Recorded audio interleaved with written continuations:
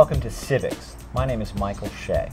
On Civics, we've been talking to community activists and volunteers who get involved in Arlington County and elsewhere uh, to make their community a better place to live. A lot of the times when you get involved with your community and you volunteer, you do it through a nonprofit. So today we're lucky to be joined by someone who's an expert on nonprofits, and we're going to learn a little bit more about what makes a good nonprofit and what are some successes in nonprofits. We're happy to be joined by Margo Bailey from Brighter Strategies. Margo, welcome to the program. Thank you. Thank you for asking me. Now, it's fair to say that you've got a lot of experience with nonprofits, but what is do you think that drew you to wanting to work with nonprofits? What got you what got you excited about that? I think what got me excited was the opportunity to help. You know, you can't be uh, a volunteer all the time. You can't serve on boards all the time. So I thought initially by teaching students about nonprofits who wanted to start nonprofits, it was a way to reach as many, a lot of people at one time. So, and I still feel that way. I think given the work that we do with nonprofits, you know, even though we're working within one organization, we're touching many people so that the knowledge base doesn't just stay with one person. So we're having greater impact as we as we do our work.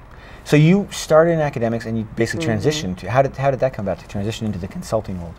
Um, the transition to the consulting world was academia wasn't quite the best fit for me, in that, as, as most people know, academia requires you know the publish and perish, and so I had a lot more fun teaching and the community service than I did on the writing side of it. So it was a bit of a challenge for me. So when it came time to transition, I was like, I'm going to work in a nonprofit because I had already done several uh, consulting projects with nonprofits. I was already serving on one, maybe two boards at that time.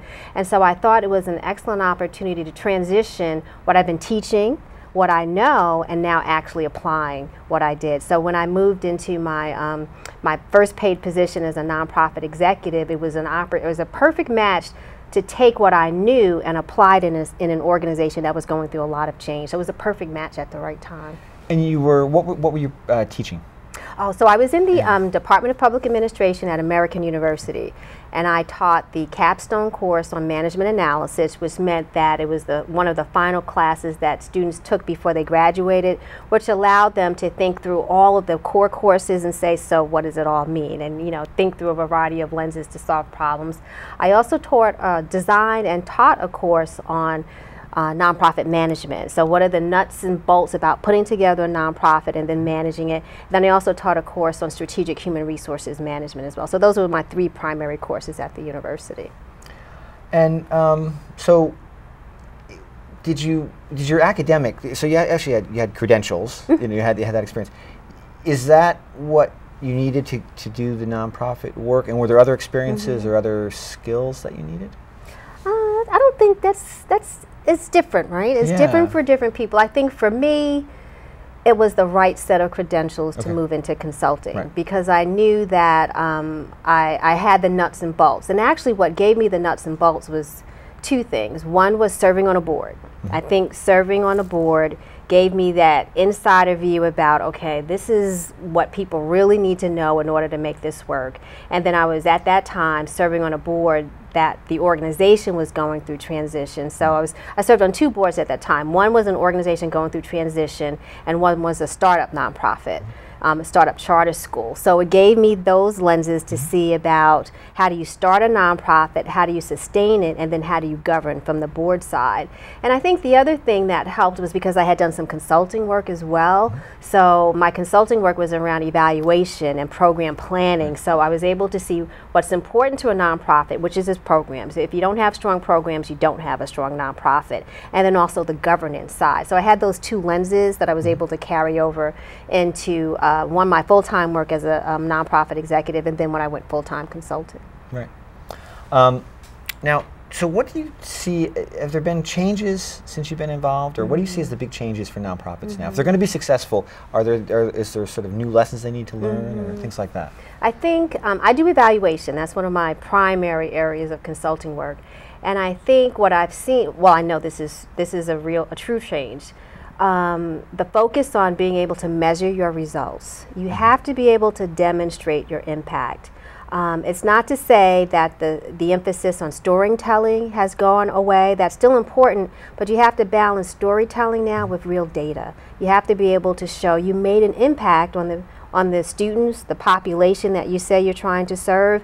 If you can't demonstrate that your program made a difference, you're not going to survive.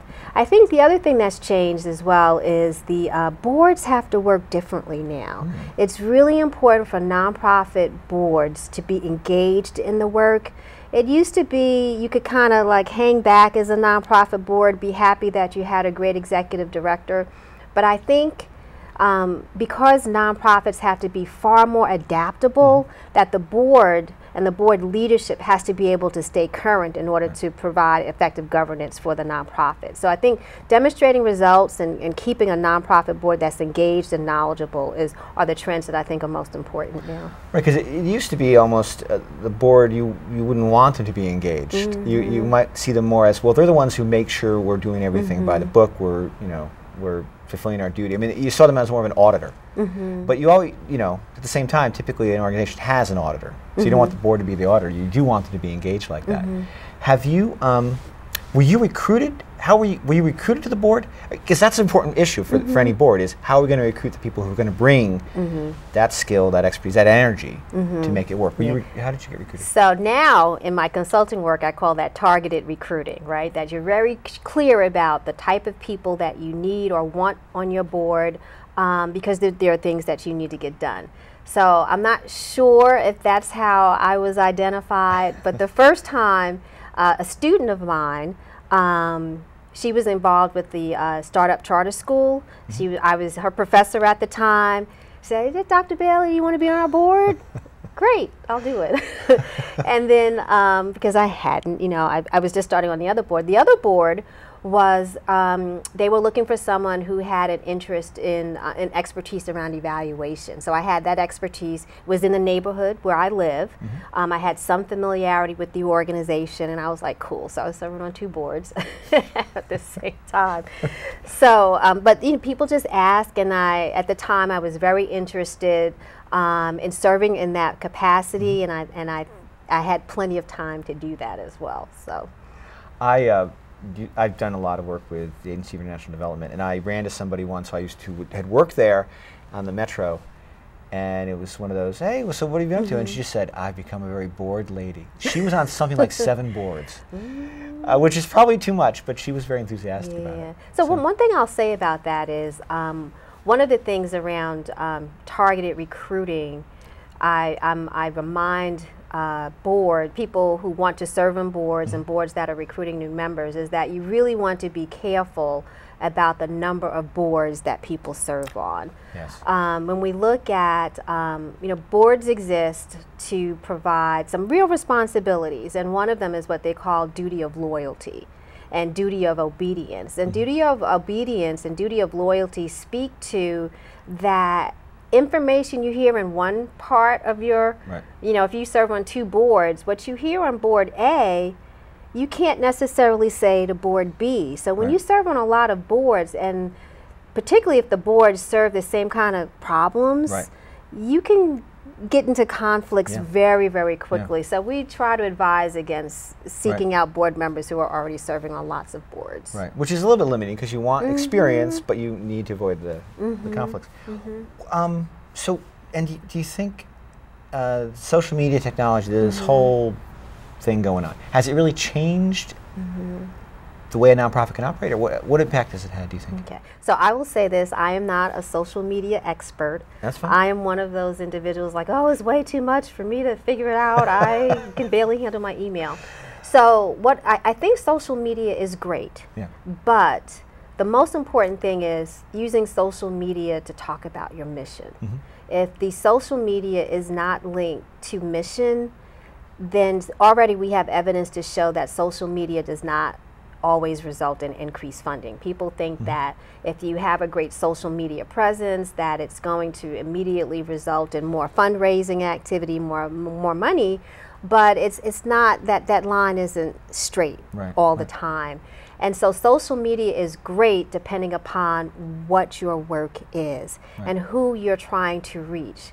So if the population that you're trying, if the donor population that you want to reach is heavily engaged in social media, then great, because they'll be tied into all the LinkedIn and Instagram and all those wonderful tools. But if you have a segment of donors that don't do that, but they're still important for you, you still have to serve those donors. Right. So social media is wonderful, but like any tool, you have to make sure you use that tool in the best way to suit your organization. Right, because at the one level, you think this just makes it so much easier to reach people, mm-hmm. but it's we're now working in a world where there's so many voices reaching people that if it's not tied to that mission, it's not going to stand out mm-hmm. from that that din. Yeah, I think every nonprofit, I will say at a basic level, every nonprofit has to have a, a basic um, website present mm-hmm. Because now everyone says, "Oh, let me look at your website." Right. And so, if you have a website, so you must have a website presence. So therefore, your website must always look good. Right. It's not to say it has to be cluttered, but you know, it has to be able to show on the first page exactly who you are. People aren't going to peck out the information. So at a minimum, you will have a good website presence that right. you keep up on a regular basis. Right. Um, and no one likes to go to a website and then click on a button and see that the date, you know, the data there is two years old. So once you make the investment, you've, you've obviously been to one of my websites. no, not so you really want to, you know, once you uh, um, an organization decides to invest in social media, you have to think through how is it going to be maintained, how is it going to be updated, does it still remain relevant? So it's mm-hmm. not, oh, we did it and it's a check off box and you don't visit it again for another five years. Right. And you, you talked about this to some extent, I think, but let's getting back to real basics if you if you want to start a nonprofit, what do you what would you say are some of the things you would do absolutely 1st mm-hmm.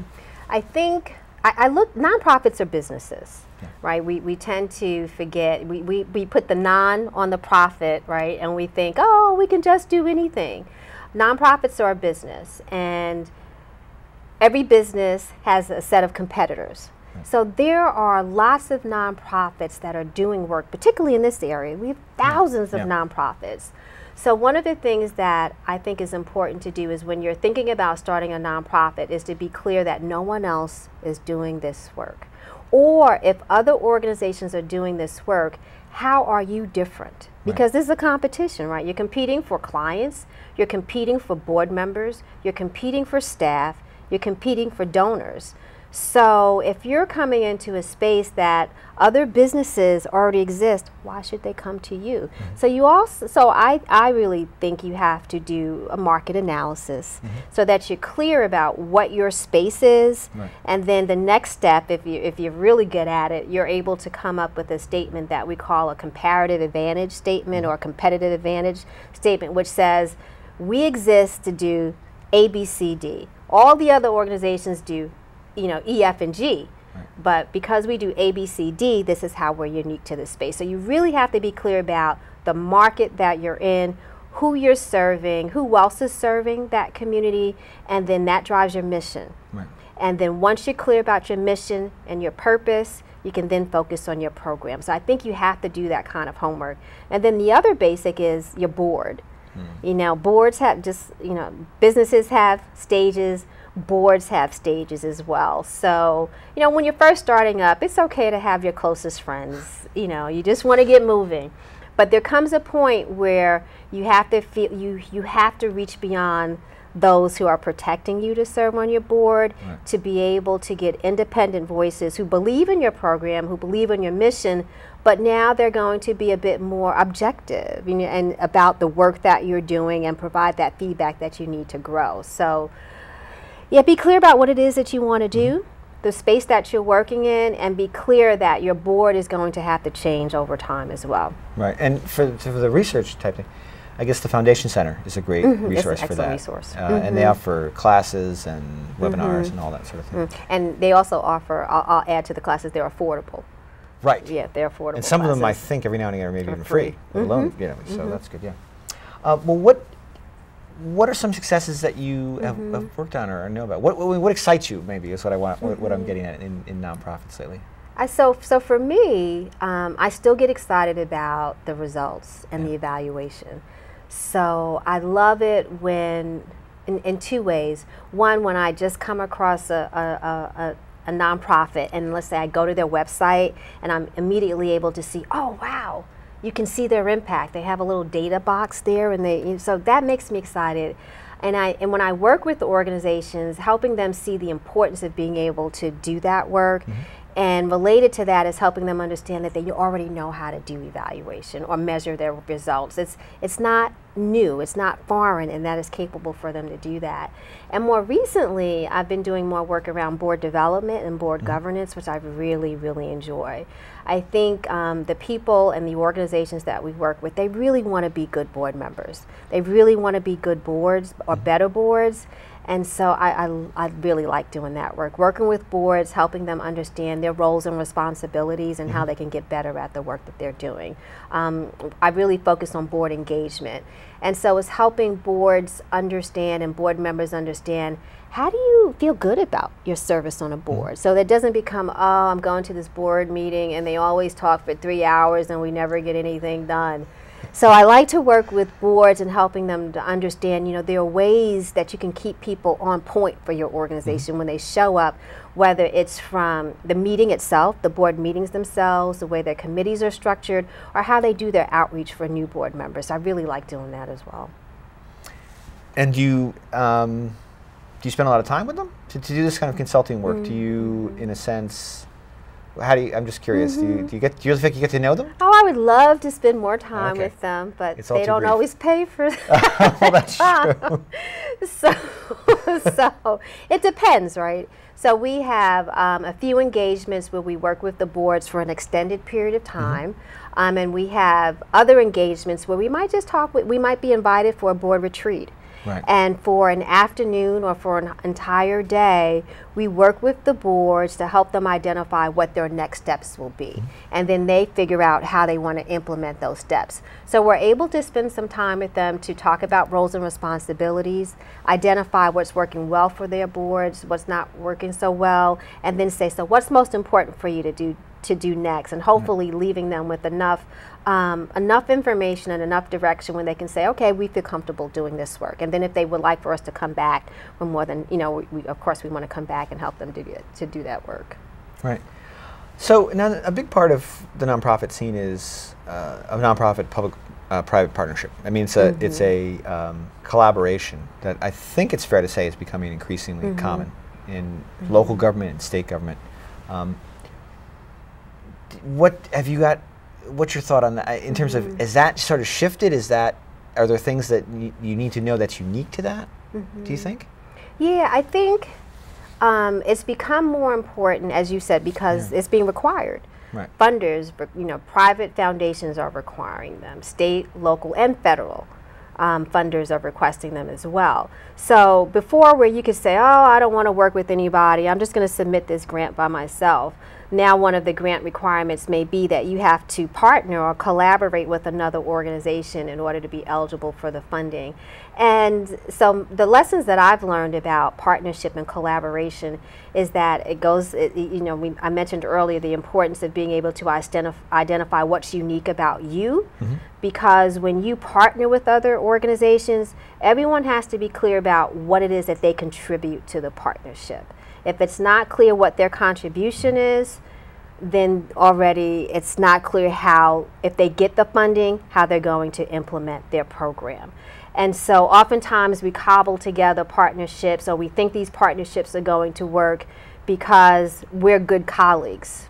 Right. But there may be something in our systems in the way that we even think about how we get our work done that when now you get the funding and you try to make it work, there are some core values or some core things that now show themselves as, oh, this really isn't a good partnership. So I think when you approach, um, remember, this is a business, right? Mm -hmm. So when you're looking at linking your success to another organization, be very clear about the strengths, your own strengths and weaknesses, and the strengths and weaknesses of the other partner or the potential partner, so that when you come together, you're clear about this is how we're going to run this program. You don't want to decide that afterwards. You want to be clear about that as you go into, you know, the particular project that you wish to fund. So you, so you need to do partnerships. I don't think anyone's going to be effective without partnerships, but be very mindful about how you're tagging your success to someone else as you as you formalize those relationships. And get the lawyers involved, I guess. And get, well, if you need some, uh, you know, we joke about the lawyers, but sometimes you do need to think through. Um, in that, partnerships can be established through memorandums of understandings, right. MOUs, but then sometimes you might need that formal legal contract as well So yeah, you right. yeah, sometimes the lawyers have to be there. but let's let's just um, talk about failure for a minute because mm-hmm. obviously you don't set up a nonprofit with the idea you're going to fail. Mm-hmm. You never try to fail. But you know, in, in business, in art, I mean, in so many things, it's that ability. You, you have to almost be willing to fail. You have to take some risks. You have to. Um, you have to be able to learn from failure. You have to. I mean, you need a space where we're, we're going to get a better nonprofit, a better world, when people can can fail sometimes. Mm-hmm. Is is it sort of one of the things where you you have to think about it as yeah push the envelope or what do you have a, a, sense of what's the, the best approach for that? Yeah so what's the proper balance between risk taking right. um, innovation right. and security right? What, what's yes. the balance right? You, you can just keep on doing what you're doing or do you want to try something different because you think you might be able to get um, better results? And some of it is how much how much reserve do you have, right? What kind of dollars do you have available to carry you through if if if, you, if it's a if it's a risk? And I think it depends. I think one of the things that we say all the time is if you're not changing, you're falling behind, right? right. If you stay the same you're actually falling behind. So, an organization that is thinking about its future is always thinking about, you know, there are some things, you know, the people we serve are changing, the, you know, things are changing, so therefore we have to look at it. So, if we look at innovation in terms of do we want to do something brand new that's never been done mm-hmm. before? Well, that's a different way of thinking about risk taking. Right? right now, you're going through building a new program. But if you're looking at innovation and risk taking in terms of our population is changing, how are we going to adapt? Right. Now you might be thinking about risk taking in a different way. So it depends, but it's something that you have to be willing to do. And I think it's an area where, particularly for nonprofits, where um, you know nonprofits, government, I think as well, where you have you have a public service mentality to mm-hmm. protect, right? You want to preserve, you want to protect, and so you tend to be a bit more conservative, but you can't always be conservative because you have to you have to push the envelope to get better results. And, and that's not always a comfortable space for organizations to be in. Right. And and I'll and I'll add when you make change, it impacts people. It impacts jobs. It impacts families. So that becomes a constraint in the public sector as well. You know, we, we, we, can say in the corporate sector, they really don't care about that. They do what they have to do. But in the nonprofit sector, people are very, when, when they make those or they think those decisions have to be made, it's a very deliberative process right. because they understand the impact it will have right. on people who've been with them for a very long time. And a lot of times, the nonprofit sector, it's it gets to a lot of uh, values, things that people mm-hmm. you get engaged in nonprofit because of something you consider very important, mm-hmm. and so mm-hmm. you're affecting not maybe someone's career, but also someone's um, ability to live out their values. Mm-hmm. So yeah, mm-hmm. there's a lot at stake. Yeah, yeah. Well, I want to thank you for coming on the program. I want to thank our volunteer crew at Arlington Independent Media. They've been great. Uh, and most of all, I want to thank Margo Bailey for thank everything you. she does to make nonprofits even better. Thank you very much. Thank, thank you. you very much.